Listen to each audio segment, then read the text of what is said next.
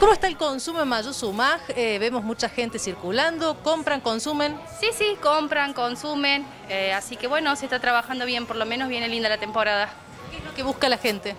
Y lleva de todo un poco, comida, Casero. pan casero, sí que acá tenemos, eh, bueno, fiambre, llevan mucho fiambre, bueno, bebidas también para tomar y todo, así que bien, bien, bien. ¿Es gente que viene a pasar el día? ¿Es gente que ha alquilado casa? Y hay gente que viene a pasar el día y hay gente que está alquilando cabañas y bueno, eh, eh, continuamente, o sea, viene gente de todos lados. Pero generalmente los fines de semana me parece que es más gente que viene por acá cerca y, y bueno, pasa el fin de semana y se va.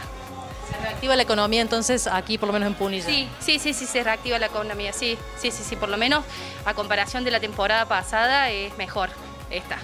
¿En cuánto lo- lo ves mejor? En lo, en lo económico, o sea, la gente viene, gasta, consume. ¿Se fijan tanto? ¿No preguntan tanto precio? No, no pregunta tanto precio. No, no, no, no, no, tranqui. No, vienen por ahí, algunos sí preguntan, pero otros no, no.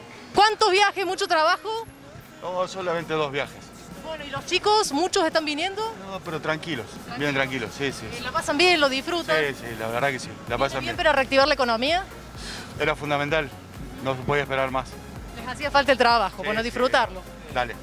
y los esperamos contentos los jóvenes, porque a veces lo- los estigmatizan, pero los necesitamos todos. Nosotros, el Mayú, Carlos Paz, todo necesita a ¿Se los están jóvenes. portando bien? Se portan bien, se portan bien.